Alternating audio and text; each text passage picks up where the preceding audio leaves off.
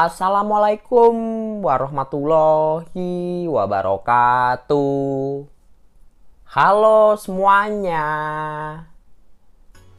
Nah, pada video kali ini gua akan membahas info update terbaru Free Fire. Yang gue bahas itu adalah bocoran Mystery Shop di bulan Agustus dan juga bocoran skin-skin terbaru yang akan rilis di server Indo. Tapi untuk rilisnya itu nggak tahu kapan, yang jelas ngebahas bocorannya dulu ya. Nah, sebelum gue mulai pembahasannya, ayo dong, yang belum subscribe channel ini, jangan lupa di subscribe ya. Yang belum like, di like juga. Satu lagi nih, jangan lupa share biar teman-teman kalian tidak ketinggalan berita seputar update game Free Fire. Oke, sekarang langsung aja gue mulai pembahasan yang pertama. Untuk pembahasan yang pertama ini gue dapet dari server luar. Nah, di sini ada event bonus top up yang berhadiahkan ada dua nih. Yang pertama itu item yang apa sih yang di lobby tuh yang bagi diamond-diamond gratis. Lalu yang kedua ada skin tas. Wow, skin tasnya bentukannya gitar. Keren sih. Ini level 3-nya ada efek. Lalu level 2-nya ya lumayan walaupun tidak ada efek. Level satunya keren juga nih. By the way, untuk skin tas ini kalau nggak salah itu special event anniversary Free Fire deh. Anniversary yang keempat. Wah, keren keren keren. Bentar cuy.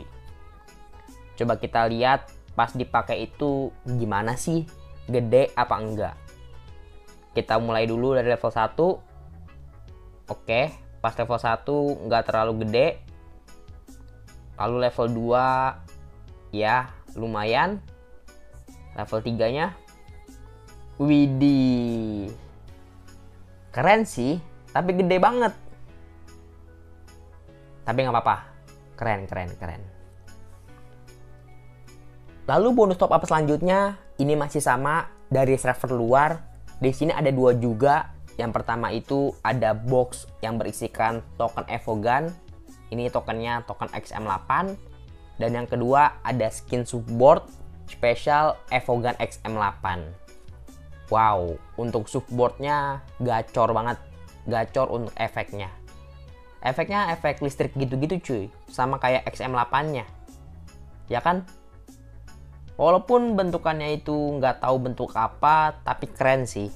Bagus nih untuk koleksi. Ayo dong, server Indo kapan nih keluarin yang baru-baru? Masa yang lama-lama mulu sih? Di server Indo itu kayaknya suka telat gitu cuy. Tapi ya nggak apa-apa lah. Kita sabar aja.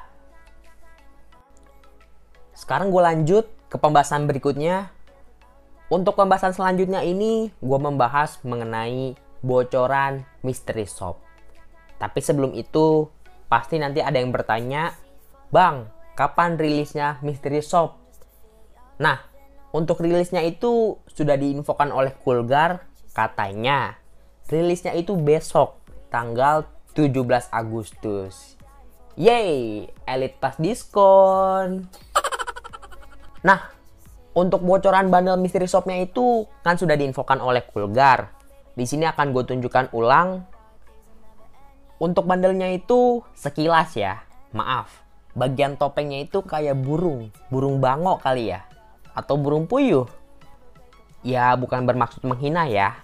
Coba kalian lihat deh. Di sini untuk bandelnya itu tidak ada efek, tapi keren. Nih, kalian bisa lihat untuk detailnya. Untuk bagian rambut dari bandel yang cewek itu lucu juga. Make pita ya. Sedangkan yang cowok itu bagian rambutnya keren bener. Gondrong. Widih, jadi Bang Gondrong nih. Lalu selanjutnya di sini bagian topeng. Untuk topengnya itu cowok ataupun cewek kurang lebih sama, nggak jauh berbeda. Tuh kalian bisa lihat, beda-beda dikit lah. Dan untuk bandel yang cowok itu keren cuy. Tapi cewek juga keren. Ih, dua-duanya keren sih. Cocok nih untuk bandel bucin. Kalau misalkan Mystery Shop gua diskonnya gede, bakal gua beli nih dua-duanya. Insya Allah. Jangan ngomong doang ya. By the way, menurut kalian, kalian lebih suka yang mana nih? Bandel yang cowok atau yang cewek? Coba komen di bawah ya. Nah, itu tadi adalah bocoran bundle Mystery Shop yang akan rilis besok. Sekarang gue lanjut lagi ngebahas bundle-bundle berikutnya. Untuk bundle selanjutnya ini gue dapet dari server luar. Oh iya, untuk bundlenya ini sekilas. Sekilas kayak Uchiha Obito. Ya enggak sih? Sekarang kita lihat nih untuk detailnya. Yang pertama di bagian rambut, oke, keren-keren aja. Lalu yang kedua di bagian topeng, topengnya itu ya keren sih, walaupun sedikit aneh menurut gua. Lalu bagian bajunya itu tidak ada efek, tapi keren juga. Lalu berikutnya di bagian celana, untuk celananya ini keren, celana jeans. Dan yang terakhir di bagian sepatu, untuk sepatunya ya biasa aja.